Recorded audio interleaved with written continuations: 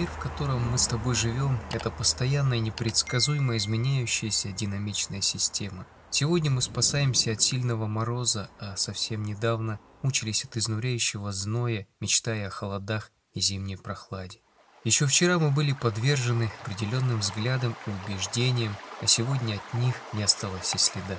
Этот мир постоянно бросает нам вызов, и у нас всегда есть выбор принять его, чтобы изменить себя и улучшить нашу жизнь, либо же остаться на перроне, глядя, как переполненная электричка проезжает мимо тебя. У каждого из нас всегда есть возможность сделать шаг навстречу своей мечте. Пусть даже этот шаг покажется нам статикой, а не движением. Жизнь, подобно временам года, имеет свои циклы, каждый раз давая шанс запрыгнуть в проезжающую мимо нас электричку пусть и переполненную.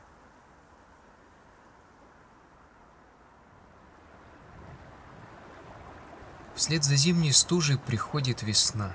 Весна приносит с собой безграничные возможности для перемен, предоставляя каждому из нас единственный шанс в году успеть посеять семена, которые при должном уходе принесут плодородный урожай. Весна не терпит ожиданий и рассуждений, ей не важно в каком ты сегодня настроении, есть ли у тебя силы и желания, готов ты трудиться или нет. Весна скоротечна и весьма обманчива. Стоит засмотреться на ее красоту, и ты рискуешь не успеть заложить основы будущего урожая. А это, считай, зря прожитый год. Несомненно, урожай посеять можно и ранним летом, но результат будет совсем иной. Ведь не зря говорят, что посеешь сегодня, то и пожнешь завтра. Или еще. Один день целый год кормит. В нашей жизни время от времени наступает весна, и в отличие от весны календарной, весна жизни приходит гораздо чаще. Сложность лишь в том, чтобы распознать ее, успев воспользоваться ее мимолетным приходом. Весна жизни может прийти завтра, через месяц, год, а может не прийти совсем. В этом ее отличие от весны календарной. Она подталкивает нас быть готовыми всегда. Подобно полю, вспаханному для посева, Поле наших мыслей должно быть подготовлено, чтобы без лишних раздумий сделать то, что, возможно, принесет плодородный урожай в будущем. Наша жизнь – это постоянное начало, это ранняя весна, несущая с собой новые возможности. Выбор лишь за тобой – сеять сейчас, либо ждать хорошей погоды и более подходящих условий завтра, через месяц, через год.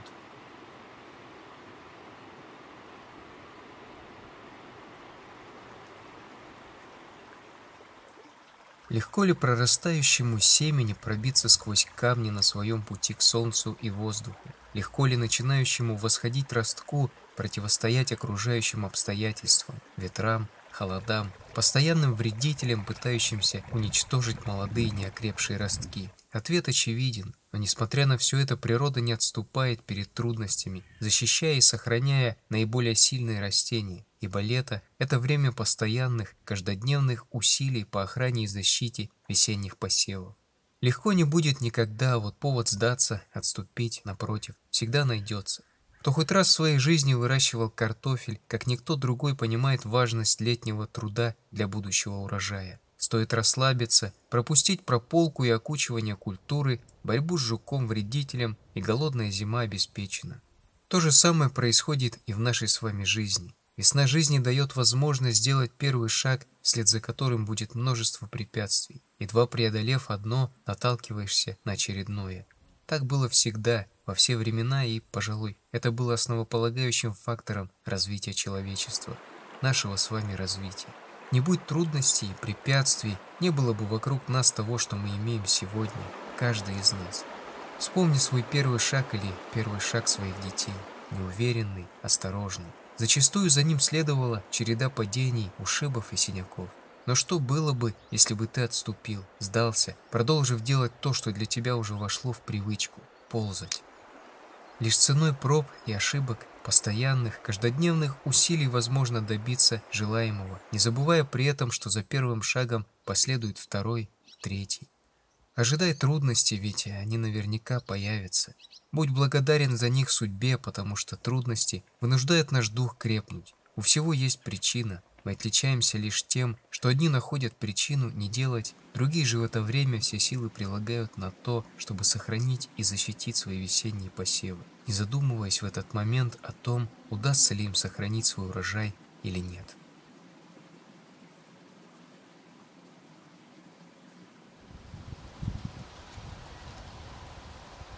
Осень – зеркало весны, в котором отражается результат всех наших усилий летом – Глупо жаловаться на непогоду, плохие семена или неплодородную почву, прикрывая этим свое былое нежелание заготовить хорошие семена, удобрить почву и бороться с сорняками, невзирая на непогоду. Каждое действие или бездействие имеет свой результат, осенняя пора, подобно судье, объявляет итоги ранее принятых решений и последующих за ними действий или бездействий.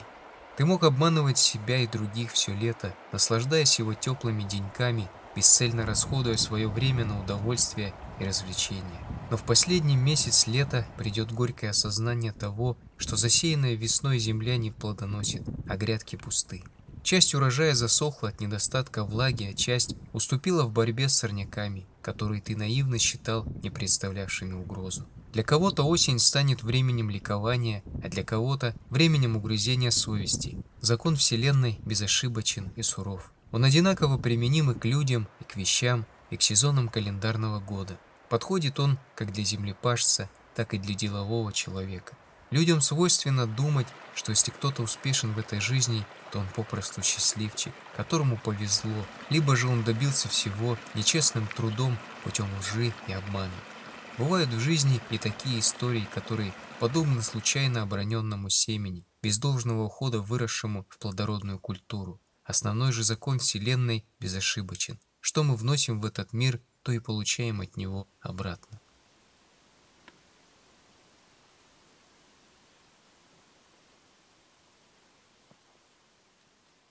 Вспомни, как внезапно приходит весна. За одну ночь из набухших почек могут появиться молодые листочки. Также внезапно и неожиданно приходит зима, принося с собой холод и ветер, снег и лед. А в человеческой жизни отчаяние и одиночество, тоску и грусть, тревогу и разочарование. Поэтому навсегда следует запомнить важный урок жизни. Зима придет обязательно, причем ее приход может стать кратковременным и выпасть на время посева или сбора урожая. Зима жизни может проявлять себя во многих видах и прийти в любое время года. Холод в отношениях – это зима, потеря работы, близкого человека, надорванное здоровье – все это тоже признаки проявления зимы. Для тех же, кто усердно трудился весной и летом, собрав достойный урожай осенью, зима, напротив, может стать временем для отдыха чтение книг и планирование того, что нужно сделать предстоящей весной.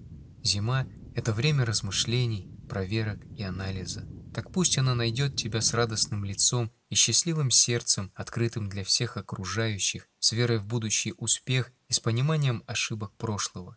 Удели больше времени зимой тем, кто тебе дорог, родителям, детям. Зимним морозным вечером особенно приятно собраться вместе всей семьей. Для этого не обязательно иметь какой-то повод. Вполне достаточно заварить горячий чаек и угостить им своих родных и близких.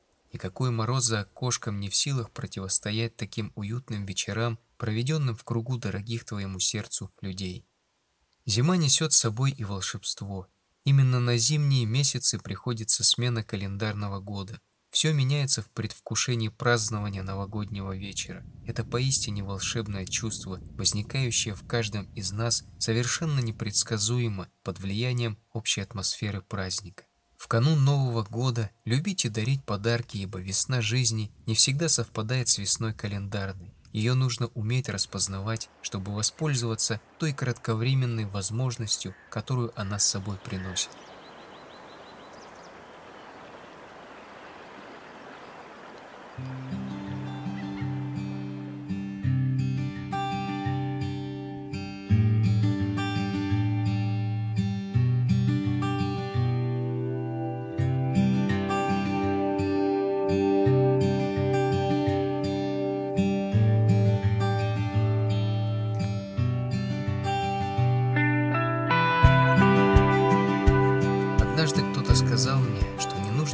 Просить судьбу облегчить наш путь. Напротив, нужно благодарить жизнь за те препятствия и трудности, которые она приносит нам с каждым новым сезоном года.